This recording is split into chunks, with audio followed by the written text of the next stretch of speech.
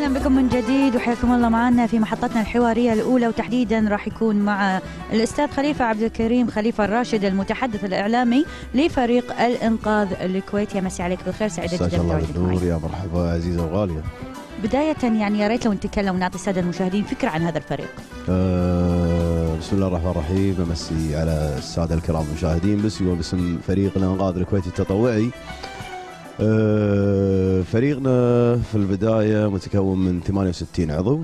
أه يتراوح من 68 يرتفع وينزل أه للأسباب اللي إجازة وسفر وعمل وإلى آخره.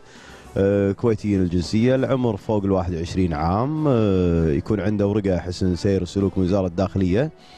آه، للحفاظ على البلاغ في حال إنه خرج إلى بلاغ لازم أعرف الإنسان مؤهل عقليا آه، آه، إلى اخره كشروط أمنية. المهام اللي توكل لكم كفريق.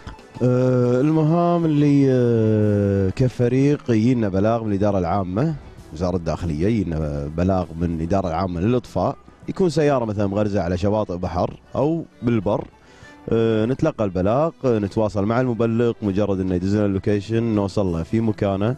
في حال إنه إذا كان الله يكفينا الشر تعبان آه، آه، مدير العمليات ما قصر أعطانا صلاحية إنه ينزل لنا ال- الإسعاف الجوي يتخذون ال- المبلغ.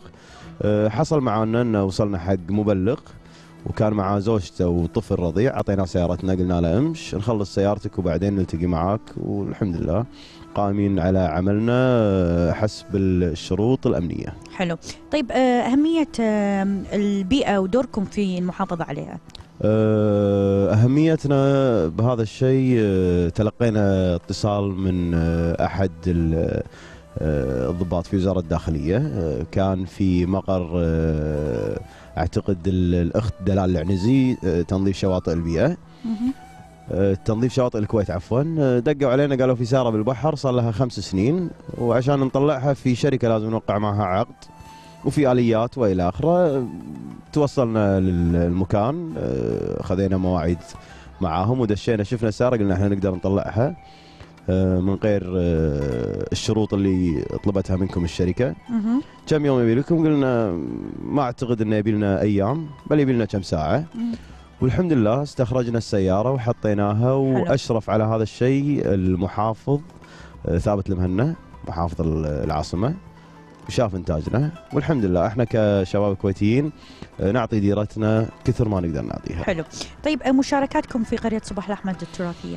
آه، مشاركاتنا في قرية سيدي صاحب السمو أمير البلاد الشيخ صباح الأحمد الجابر الصباح طلب من بعض القائمين على الديوان الأميري آه، والمشرفين أن آه، نشارك ونقوم ببعض الأعمال داخل ال- القرية لإثبات وجود فريق الإنقاذ الكويتي. فريق الإنقاذ الكويتي آه، في الدولة ثلاث أعوام.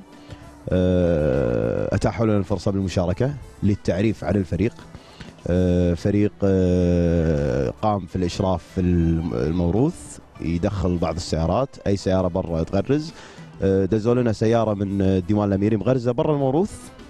طلعنا وشلناها دخلناها داخل آه، والحمد لله ما زلنا إحنا بالموروث. إحنا جيناكم من الموروث للوكيشن الله يعافيك. علشان اللقاء. آه، كونكم يعني فريق تطوعي أهمية العمل التطوعي؟ okay أهمية العمل التطوعي قبل كل شيء لما يجيني آه، بلاغ أول ما أوصل حق الإنسان أسأله إذا أنت تعاني من كسر. لأن أنا لما بسحب السيارة في عملية تكنيك في السحب السياره ساعات يصير نفس عملية النتلة. مم. فممكن الإنسان ين- يعني داخل السياره يهتز. مم. فأسأله. اي أسأله. عندك كذا كذا كذا. قال والله أنا عندي مثلا في واحد رحنا له الله يشفيه قال انه في مرض الأم أس زاد عنده ارتجاج في المخ. نزلناه من سيارته امناه ركبنا واحد من الشباب آه، قلوسنا حطيناها بطريقة إن نحافظ على أنفسنا ونخلي المنطقة نطلع السيارة بعدين نسلم الشخص سيارته. لو نبي نركز أكثر على أعضاء الفريق نتساءل منو هم؟ أه صعب علي إني أقول لك أعضاء الفريق كامل.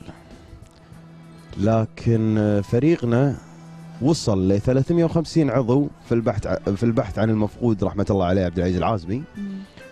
ولكن إحنا الحين حاليا 68 ننزل 40 كلهم كويتيين فيهم دكاترة فيهم مهندسين فيهم آه، مدرسين فيهم من له تجارة خاصة فيهم من هناك في السلك العسكري آه، فيهم من تقاعد سبب آه، إصابة أو إلى آخره.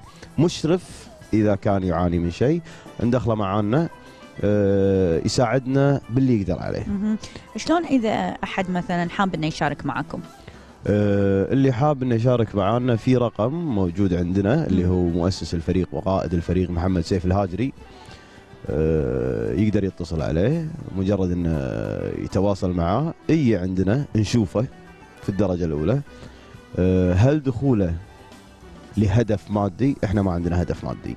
دخولك للمساعدة نرحب فيه سيارته تكون من الدفع الرباعي مالي شغل شنو شركتها. آه، مالي شغل شنو أنت من إنسان لكن عمرك فوق ال 21 عندك ورقه من وزارة الداخلية إن أنت لا حكم عليك آه، مو مختل عقليا لأن في بعض البلاغات نواجهها عوائل صح. آه، فالواحد يخاف على أخته وأمه وممكن تكون زوجته عمته ما تدري شنو الوضع. فكدولة آه، ألزمتنا الشؤون في بعض القوانين وإحنا نرحب في هذا القانون للأمن والسلامة. إي نعم. نعم. الجهات اللي تتعاون معاكم؟ آه، وزارة الداخلية. آه، توصل لنا البلاغ. ال- آه، الإدارة العامة للإطفاء توصل لنا البلاغ.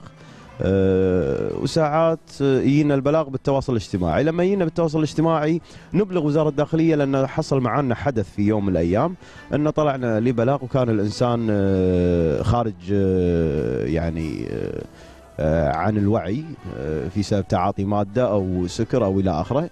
فمن هذاك الوقت صار ربط بيننا وبين وزارة الداخلية. لما يجينا بلاغ نبلغ إن أنا بلاغ بالمنطقة الفلانية آه، رقم السيارة كذا والمبلغ اسمه آه، فلان فلان الفلاني. نعم. آه، إذا كان على شيء دورية تطلع لنا. وتشرف على أن تكون معنا. نعم. إحنا وصلنا معك الختام إذا حاب تقول كلمة أخيرة؟ أه والله أنا أشكركم في البداية على استضافتكم لنا. أنا حاب إني أقول شغلة. أه الفريق الوحيد في العالم وليس في الخليج.